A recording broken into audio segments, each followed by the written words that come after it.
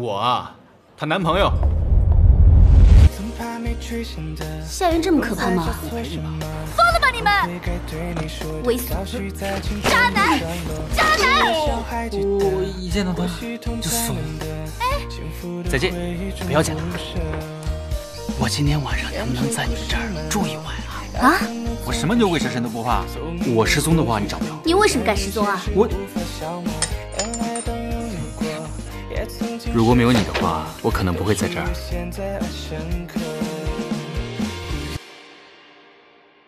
我好像看到宋航宇了。我每天都在思念你。我在乎的是你为什么不跟我说实话。